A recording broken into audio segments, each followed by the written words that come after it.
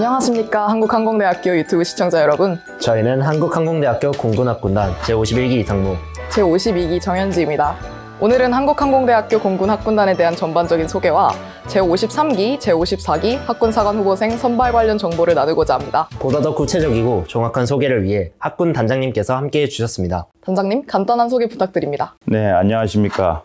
항공대 학군단장 이재득 대령입니다. 먼저 항공대 학군단에 관심을 가져준 모든 분들께 감사의 말씀을 드립니다. 이제 3월에 접어드니 봄에 새싹이 태동하듯 항공대 학군단도 21세기에 걸맞는 새로운 변화를 모색하고 있습니다. 이러한 변화에는 여러분들의 호응이 절실히 필요합니다. 교정을 거닐다가 변화된 학군단의 모습이 궁금하시다면 언제든지 방문해 주십시오. 여러분과 함께 더욱 발전된 학군단을 만들어 가도록 노력하겠습니다. 소개 말씀 감사합니다 우선 올해 항공대 학군단의 역사에 대해 살펴보려고 합니다. 혹시 정현주 부생은 올해 항공대 학군단 창설 몇 주년이 되는지 아십니까? 예 당연히 알고 있습니다 제가 52기니까 올해로 52주년 아닙니까? 예, 맞습니다.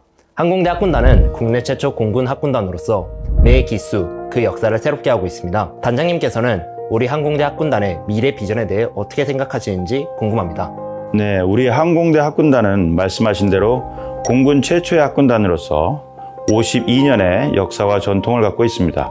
현재까지 3,105명의 공군 장교를 양성하였고 역사가 오래된 만큼 다양한 분야와 업계에 많은 학군 선배들이 항공대의 위상을 드높이고 있습니다. 21세기에 항공 우주 분야는 세계 각국의 치열한 경쟁 대상이 되고 있고 엄청난 부가가치를 창출할 수 있는 분야입니다. 이러한 세계적 추세에 앞장서기 위해 항공대와 공군의 협업이 그 어느 때보다도 필요합니다. 이러한 시기에 항공대 학군단의 역할이 대단히 중요하다고 여겨지며 항공대 학군단 후보생들이 21세기의 주역이 될 수 있습니다.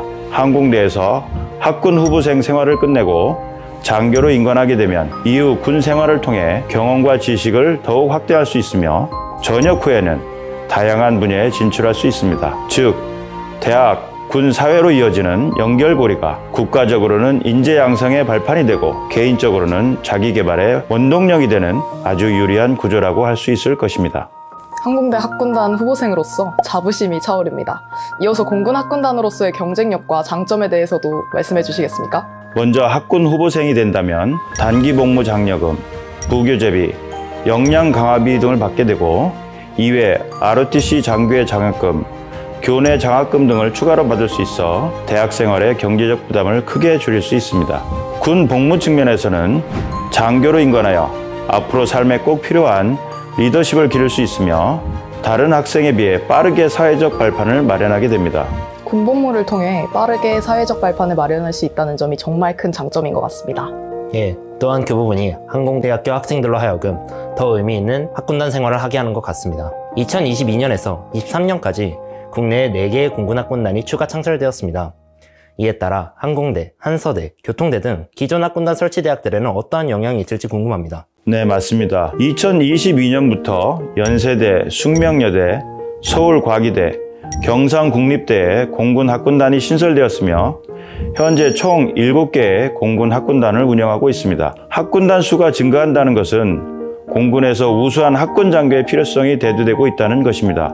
또한 학군 출신 장교의 증가는 공군 내 학군 장교의 입지를 확대시키고 학군 장교에 대한 공군 내 정책의 변화나 학군 출신의 상위 계급 진출 가능성 등도 현저히 증가할 것입니다. 특히 수도권에 총 4개의 학군단이 존재하는데 학군단 간의 교류 활동이나 합동 문화 탐방 등을 통해 시너지 효과를 얻을 수 있으며 이런 것들로 인해 학군단의 질적 향상이 이루어질 것이라 생각됩니다. 다양한 학교의 학군단 후보생들이 함께하며 서로의 성장을 응원하고 후보생들끼리의 유대감도 더욱 견고해질 것 같습니다. 마지막으로 단장님께서는 항공대 학군단을 어떻게 이끌어 나가실 계획인지 궁금합니다. 제가 학군단장으로 취임한 지 벌써 2개월이 되어가고 있습니다. 짧은 시간이었지만 여러 가지 변화를 모색하고 있습니다. 먼저 학군단에 대한 전폭적인 지지를 해주시고 계신 항공대 총장님께 감사의 말씀을 드립니다. 이러한 학교의 지원을 바탕으로 항공대와 학군단이 함께 커나갈 수 있도록 후보생들의 교육 여건과 교내 학습 분위기 조성을 위해 노력하겠습니다.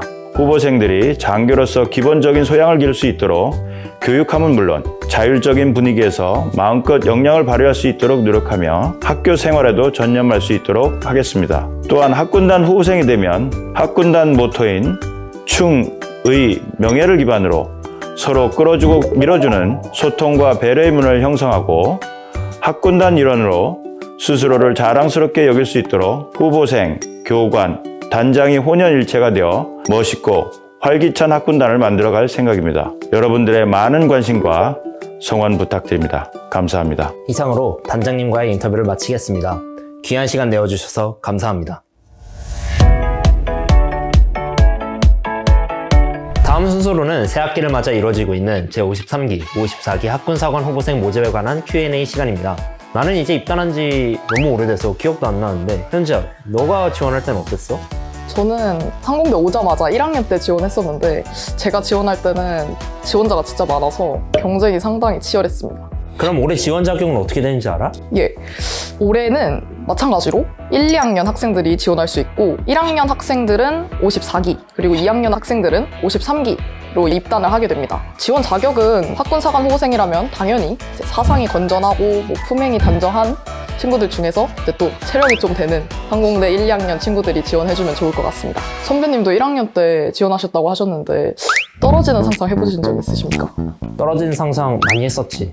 나는 1학년 때 떨어지더라도 다시 한번 지원할 생각이었어. 왜냐면 2학년 때 기회가 또 있거든. 1학년 때는 정원의 70%의 인원을 선발을 하지만 2학년 때는 정원의 30%의 인원을 선발하기 때문에 결국 1, 2학년 두 번 다 기회가 있었지. 1학년 때 지원했을 때 또 한 번의 기회가 있다는 점이 지원해주는 학생들로 하여금 조금 마음의 부담을 덜 수 있을 것 같습니다. 내가 지원할 때는 이 선발 전형이 지금하고는 좀 많이 다르다고 알고 있는데 혹시 선발 전형이 어떻게 되는지 알려줄 수 있어? 이맘때쯤이었던 것 같습니다. 3월 초부터 4월 초까지 모집 기간이었고 서류를 먼저 제출합니다. 아 저 여기 학군상한 후보생 지원합니다. 이렇게 서류 제출을 했었고 그리고 나서 5월 말쯤 저희가 키다라는 간부 선발 도구를 통해서 시험, 필기 시험을 봐서 1차 전형을 합격한 인원들이 이제 신원 조사 후에 2차 전형으로 청주에 항공우주의료원 내려가서 거기서 신체 검사 받았었고 부적합 판정을 받지 않은 사람들이 남아서 거의 9월 말쯤 그쯤 돼서 체력 검사 보고 그 같은 날에 면접 진행했고 그리고 결과는 한 달에서 한 3주 뒤쯤에 나와서 그렇게 합격했었던 것 같습니다. 음, 솔직히 학군단 후보생으로 생활하면서 특전 놓칠 수 없잖아. 아 특전 어떤 특전들이 있고 어떻게 되는지 알고 있나? 제가 이제 입단한 지 거의 1주차 밖에 되지 않았지만 벌써 선배님들한테 많은 정보 얻어가지고 어떤 특전 있는지 다 파악하고 있습니다. 일단 먼저 제일 중요한 저희 단기 복무 지원 장려금 음. 900만 원. 야 진짜 많이 올랐다. 저 제가 듣기로는 원래 600만 원. 맞아, 우리 600만 원 받았거든. 네. 그래서 저희가 900만 원으로 올랐다고 들었고 그리고 부교재비 있지 않습니까? 어, 약 7만 원 가량의 부교재비 있고 그리고 제가 개인적으로 생각했을 때 참 좋다고 느낀 거는 저희가 참 대학생으로서 봐야 되는 자격증 시험이나 너무 공인 영어. 시험 같은 것들 많은데 그때마다 돈 쓰기가 조금 시험비 너무- 아깝지? 예, 아깝고 부담됐는데 역량 강화비라고 해서 연 64만 원 받을 수 있는 혜택 있는 거 알고 있습니다. 나는 이제 영화관하고 군마트를 진짜 많이 갔었는데 영화관은 내 기억에 표가 한 5천 원에서 6천 원 정도 할인되는 것 같아. 한 15,000원이면 만 원의 영화를 볼 수 있는 거지. 솔직히 영화관에서 영화 볼 때 팝콘, 음료수 빠질 수 없잖아? 그쵸. 그런데 학군단증을 제시를 하고 영화를 보면 콤보 할인권을 줘. 5,000원 할인권을 주는데 오. 팝콘 하나 하고 음료수 두 개. 그래서 뭐 친구랑 같이 가면 이렇게 잘 나눠 먹을 수 있겠지.